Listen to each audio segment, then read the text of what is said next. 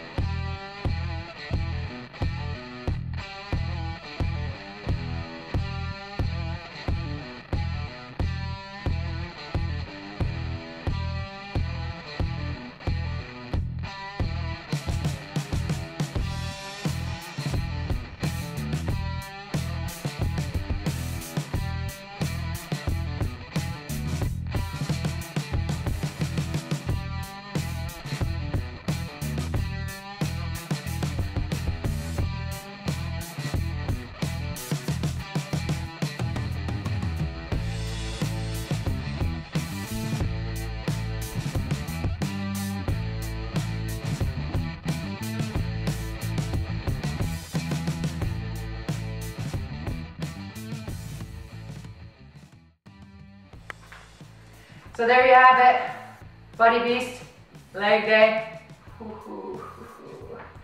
Calves I could have went heavier, I think, possibly, maybe. Um, I'm thinking the lunges on the bench, those are probably the hardest ones I did. And you really feel those, so I'll have to adjust my weights. Make sure you write your weights down. Right now I definitely need a shake. I need it because I'm shaking and my chest is so hurting from yesterday. so I made a shake. It's nice and purple because it's got frozen blueberries and mangosteen. So play around with your shakes. They don't have to be boring.